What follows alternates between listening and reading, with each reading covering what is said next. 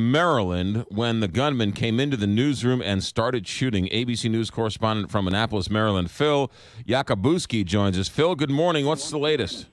Good morning. We've learned that Jarrod Ramos killed five employees of the Capital, uh, Capital newspaper uh, here in Annapolis. Uh, we're told that he's now charged with five counts of first degree murder, according to investigators.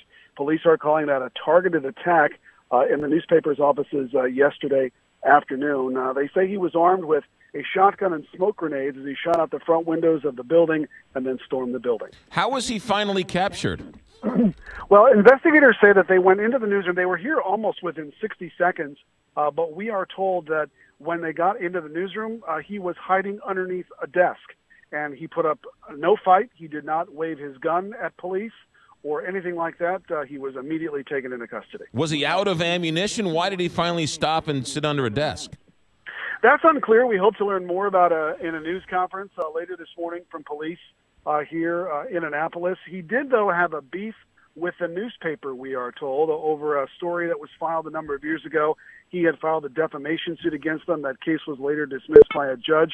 A spokesperson for the police department tells us that they actually received a complaint from the newspaper staff back in 2013 and they looked into it. Uh, apparently, no charges were filed, but that is the last time that they had any sort of uh, contact with him regarding this. He had no prior criminal record. Uh, he had a degree in uh, computer engineering and uh, at one point worked for the Bureau of Labor Statistics. Hmm. Um, in terms of the newspaper, I was reading that um, uh, we're all in the news business. The news must continue. And there were some people in the newsroom who were defiant that the newspaper would be put out today. Do they have an edition today? Yes, they do. Uh, and they've dedicated one of their pages entirely to uh, the people who were killed, along with the pictures on the front pages of that newspaper. The journal was pretty remarkable yesterday. Uh, live tweeting as this happened. Uh, this happened in an office building that is across the street from a very large shopping mall here uh, in Annapolis, and it's a building that houses uh, professional space, doctors' offices, lawyers' offices, things like that. And when it initially happened, we didn't know where it was happening, but we quickly learned where because of the journalists that were putting out information saying that at one point uh, the gunman was in the newsroom, he was firing shots, and that he actually stopped and reloading. They were talking about on Twitter how chilling it was to listen to that and be fearful for their lives as they were underneath desks uh, waiting for this to be over. And is that why authorities were able to get there so fast?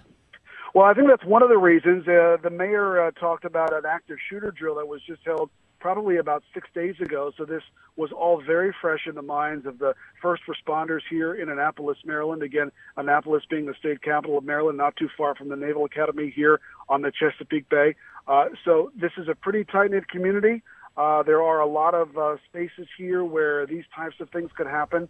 Uh, so they were pretty well staffed and ready to go uh, when they heard that shots were fired. Phil, everyone wants to put their own philosophical bias on this story because of what's going on around the world. But tell us about the newspaper. What kind of newspaper is it? This is a local community newspaper. It's a community newspaper actually that merged from being one of, uh, the, not one of, the nation's oldest newspapers. In fact, when the Gazette was around back in the 1700s, it published a copy of the Declaration of Independence. So that's what it's morphed from. But they cover all of the local government news here in Annapolis, high school sports, uh, things that go on, uh, city council meetings, you know, water problems, sewer problems, local crime, and such. But uh, this is a newspaper, again, that covers the community. So uh, political bias, I think that was being talked about yesterday, but we quickly learned uh, once Ramos was charged and, and once he was being talked about as a suspect that this, in fact, uh, was happening. Uh, one of its former editors uh, said that he was the one who initially called police a number of years ago because he was fearful that Ramos was capable of doing something like this. Phil Yakabuski, ABC News correspondent in Annapolis, Maryland. Phil, thanks for checking in. Thank you. 653 here. Big